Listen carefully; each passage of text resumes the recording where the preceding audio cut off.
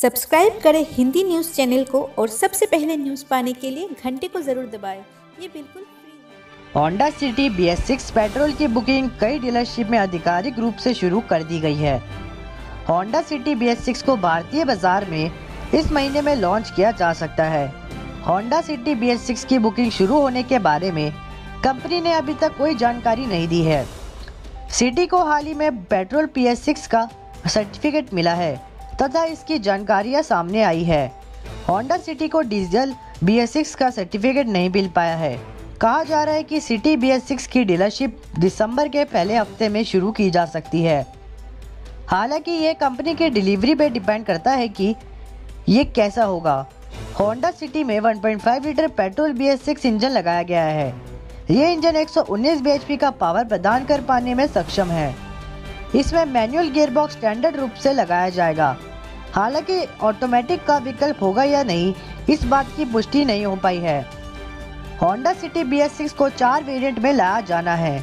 वर्तमान मॉडल की तरह ही चार variant A C V V V X तथा वी जेड वेरियंट में ही लाया जाएगा। वर्तमान मॉडल के मुकाबले, इसकी कीमत में चालीस हज़ार से पचास हज़ार रुपए की वृद्धि की जा सकती है। होंडा सिटी में इसके अलावा और कोई बदलाव नहीं किए जाना है। जहाँ तक डीजल बी की बात है तो ये भी कंपनी की योजना में शामिल है, लेकिन इसे अप्रैल 2020 के आसपास लाया जा सकता है। कंपनी वर्तमान में अंतर्राष्ट्रीय बाज़ार में होंडा सिटी के नए जनरेशन मॉडल को उतारने की तैयारी कर रही है। भारतीय बाज़ार में नई जनरेशन सिटी को अगले साल के माध्यम में उतारा जा सकता है, क्योंकि होंडा सिटी बी पेट्रोल की बुकिंग की प्रतिक्रिया की घोषणा आधिकारिक तौर पर नहीं हुई है।